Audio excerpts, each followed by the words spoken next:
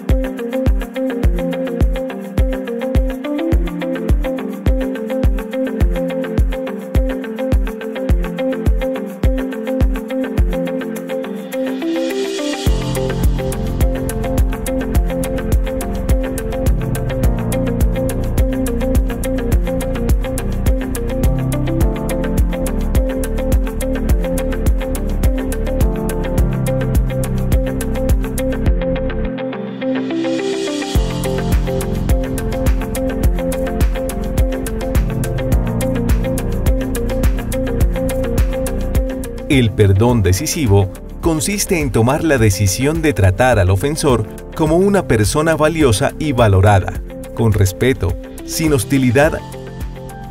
El perdón emocional, por otro lado, consiste en liberarse de la carga de las emociones negativas por la falta de perdón y reemplazarlas por emociones como simpatía, compasión y empatía.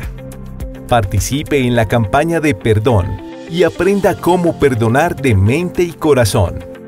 Tenemos más de 30 actividades y 14 millones de pesos en premios y sorteos.